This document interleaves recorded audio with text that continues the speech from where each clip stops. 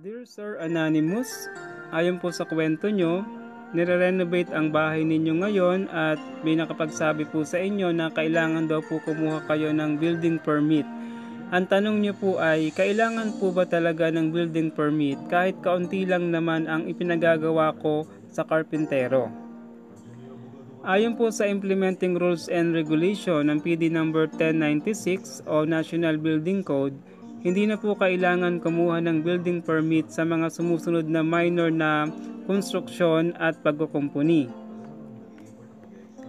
Una, pagkatayo ng mga minor na istruktura katulad ng sheds, outhouses, greenhouses, children's playhouses, poultry houses na hindi po higit sa 6 square meters ang kabuang lawak. Kailangan din na ito ay lubos na nakahiwalay sa anumang istruktura at para lamang sa pribadong gamit ng may-ari. Ikalawa, pagdadagdag ng open terraces o patios na nakalapat sa lupa at uh, hindi po higit ng 20 square meters ang lawak at kung ito ay para lamang sa pribadong gamit ng may-ari. Pangatlo, paglalagay ng window grills. Pang-apat, pagkatayo ng garden pools para po sa mga halamang namumuhay sa tubig o aquarium fish na hindi higit sa 500 mm ang lalim at kung ito ay gagamitin lang ng pribado ng may-ari. At panglima, pader po para sa garden na hindi party wall at hindi higit sa 1.20 meters ang taas. Kabilang na rin dito ang footpaths, residential garden walks o driveways.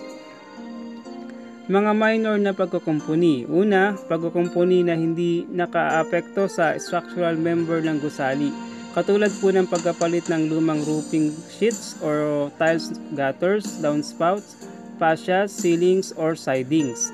Kalawa, pagkukumpuni o pagkapalit ng non-load bearing partition walls. Ikatlo, pagkukumpuni o pagkapalit ng interior portion ng isang bahay basta po walang idadagdag o babaguhin sa istruktura nito. Ikaapat, pagkukumpuni o pagkapalit ng mga pinto at bintana. Ikalima, pagkukumpuni o pagkapalit ng flooring. Ika-anim, pagkukumpuni o pagkapalit ng perimeter fence and walls. At ikapito, pagkukumpuni o pagkapalit ng mga tubo, kabilang na po ang gripo, lababo, urinals, bidet at toilet bowls.